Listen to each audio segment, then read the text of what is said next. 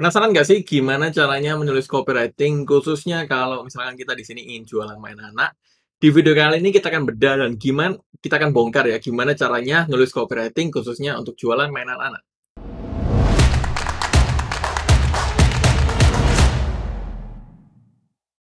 Hai, kembali lagi bersama saya Show Andreas di upgraded.id, media belajar digital marketing, digital teknologi, dan otomatisasi untuk tingkatkan omset bisnismu. Di video kali ini, teman-teman, kita akan belajar gimana caranya menulis copywriting khususnya untuk jualan mainan anak. Dan mainan anak itu kan banyak banget ya, ada kayak boneka ya, terus ada buku lah, terus atau apa pun ya. Tapi di video kali ini kita akan fokus ke mainan anak yang edukasi, teman-teman ya, khususnya untuk buku ya. Jadi uh, tanpa basa-basi lagi, langsung masuk aja ke layar laptop saya. Nah, sebelum kita menulis copywriting, teman-teman selalu ya, selalu ya, kita ingatkan bahwa kamu harus menyiapkan dulu bahan-bahannya terlebih dahulu. Hal ini untuk memudahkan kita nih nanti dalam menulis copy. Nah, uh, yang pertama ini kita akan buat studi kasus fiktif ya, yang mana buyer personanya adalah Ibu Mia dengan usianya itu 27 sampai 40 tahun. Ya, masih masuk milenial ya. Yang mana jenis kelaminnya ya tentu wanita ya. Dan mereka tinggal di seluruh Indonesia, teman-teman. Jadi bahasa bahasa copywritingnya kita bisa menggunakan bahasa yang baku dan bahasa Indonesia nggak masalah. Pekerjaannya di sini mereka adalah ibu rumah tangga dengan masalah mereka. Mereka itu susah mengatur si kecil dan harus memberikan si kecil gadget ya agar si kecil lebih tenang. Jadi um, kebanyakan yang saya perhatikan ya ibu-ibu sama sekarang itu atau orang orang-orang yang punya anak ya orang tua yang punya anak itu kalau misalkan si kecil lagi rewel, lagi um, nangis gitu kan dikasih gadget apa biar bisa diam sehingga hal ini menjadi ketergantungan terus. Jadi kalau misalkan si kecil nggak dikasih nonton YouTube, nah dia jadi rewel. Gitu, ya. Nah ini kepercayaan yang mereka punya ya mereka berpikir bahwa ya memang kalau punya anak sama sekarang itu harus begini gitu kan. Kalau nggak dikasih gadget ya mereka kan nanti jadi gaptek ya. Nah, keinginan mereka, mereka ingin punya waktu berkualitas dan aktivitas baru untuk membangun hubungan yang intens bersama si kecil. Ini keinginan uh, apa studi kasusnya kali ini ya. Semua orang tua ingin punya keinginan seperti ini dan contohnya di sini mereka belum tahu tentang produk kita apa dan ini public figure yang mereka jualkan ada dua ya, Rensia Sanvira dan Mesti Aryo Tejo. Dan ini media online streaming akses, contohnya YouTube, uh, YouTube, Facebook, Instagram, TikTok. Walaupun sebenarnya ada YouTube-nya juga ya. Dan kompetitornya contohnya nggak ada ya. Ini contoh bayar personanya. Dan di sini kita uh, menjual satu produk ya, namanya ini sama namanya fiktif ya, Children's Book Kido ya. Dengan fiturnya uh, terdapat lima permainan interaktif yang bisa dimainkan dalam satu buku menggunakan velcro dan bahan-bahan premium yang nggak tajam dan aman untuk si kecil sudah terjual lebih dari 3.500 piece di seluruh Indonesia, teman-teman. Ini fiturnya, ya. Dan ini manfaatnya, teman-teman. Bunda dapat menghasilkan lebih banyak waktu buat si kecil dengan menggunakan satu mainan saja.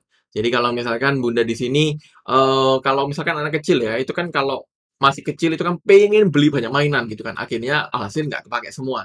Maka dari itu dengan beli satu mainan ini aja lebih hemat. Kenapa? Karena satu mainan bisa dipakai untuk lima permainan interaktif. Oke? Okay? Dan yang kedua, kenapa misalkan kalau menggunakan velcro, ya jadi kalau menggunakan velcro, ya bunda nggak perlu khawatir meskipun si kecil bermain sendiri gitu kan. Jadi kalau misalkan si kecil suruh main ini tapi ditinggal, takutnya ada bahan-bahan yang tajam mungkin atau bahan-bahan yang dapat merusak mungkin uh, apa aktif atau dapat mengganggu aktivitas si kecil. Nah, bunda nggak perlu khawatir karena bahannya aman ya. Dan ini juga sudah terjual lebih dari 3.500 piece di seluruh Indonesia. Jadi ya kredibilitasnya sudah nggak dipertanyakan lagi. Oke. Nah, media yang digunakan di sini ada dua, teman-teman. Contohnya kita yang menulis copy di Facebook sama Instagram, ya. Dan ini contoh copywritingnya. Jadi di sini saya akan memberikan dua contoh copywriting ya, dengan dua angle yang berbeda. Ini contohnya. Yang pertama, Moms masih ingat gak kapan terakhir belajar dan bermain bersama si kecil? Jadi untuk angle judulnya kita buat mereka bayangkan dulu nih keinginannya, terus kita bayangkan dulu masalahnya mereka sehingga mereka dapat pikir ulang dan mereka uh, dapat uh, punya pikiran ya, ya benar juga gitu kan. Kapan ya kayaknya saya punya waktu yang intens bersama si kecil. Dengan kita tahu sendiri tadi di personanya di awal, harapannya adalah mereka ingin punya waktu yang berkualitas kan. Ya. Nah, lalu uh, di paragraf yang kedua, kita bilang bahwa ingat momen bersama si kecil adalah momen yang paling berharga. Oke, langsung kita berikan offernya di sini. Yuk jauhkan gadget dan mulai asah tumbuh kembang si kecil dengan Children's Book Kido. Klik link di bawah untuk info lebih lanjut. Ini contoh yang simple banget ya. Nah, ini contoh yang kedua, teman-teman yang lebih panjang. Oke, contohnya seperti ini. Bunda sudah bijak membelikan mainan anak. Nah, ini kita menggunakan pertanyaan headline ya. Yang mana kalau tadi ya juga sama pertanyaan headline. Um, yang kedua, setelah kita memberikan headline-nya, kita langsung masuk ke bagian isinya. Pastikan Bunda tidak hanya memberikan mainan yang lucu, tapi juga dapat menstimulasi perkembangan otak si kecil. Nah, kenapa kita pakai kalimat ini? Karena kebanyakan uh, orang tua itu memberikan mainan yang lucu-lucu aja gitu ya, yang anaknya suka, tapi nggak ada dampak untuk pertumbuhan si kecil. Oke? Okay? Nah, ini uh, kita langsung masuk covernya lagi. Children's Book Kido adalah mainan interaktif yang akan menstimulasi perkembangan motorik si kecil. Nah, langsung kita jelaskan fitur-fiturnya di sini. 5 permainan interaktif, permainan menggunakan Velcro, dan kita memberikan social proof-nya dengan sudah terjual lebih dari 3.500 piece di marketplace. Klik link di bawah untuk cari tahu selengkapnya.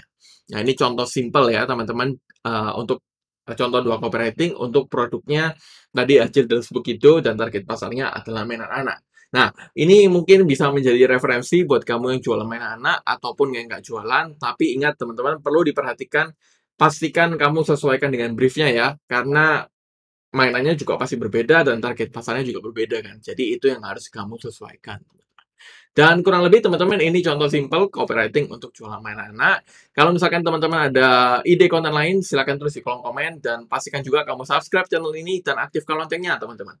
Agar kamu selalu up to date nih tentang info-info terbaru seputar digital marketing, digital teknologi, dan otomatisasi. Ya, itu aja teman-teman dari saya. Sampai jumpa di video-video yang lain.